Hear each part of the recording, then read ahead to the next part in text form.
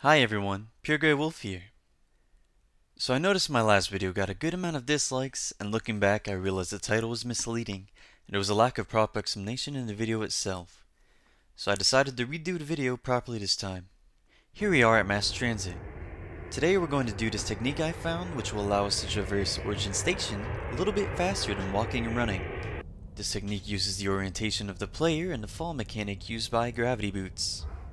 Now first we're going to press Q on these benches, or any slanted surface to orient ourselves so that the floor looks like a very slanted slope. Note that when looking straight down, the crosshair should still be pointed at the floor or the gravity boots will not take effect and you will not fall. From here we're going to walk off the edge and let the gravity boots do the rest. While you're falling, you want to maneuver yourself in a way that you will stay close to but not touch the floor as that will stop your momentum. Here's a quick side-by-side -side comparison of running versus falling. As we can see, running is a little faster than falling, but keep in mind you have to manage your stamina when running, while with falling you can maintain the same speed for much longer periods of time. That will wrap up this video.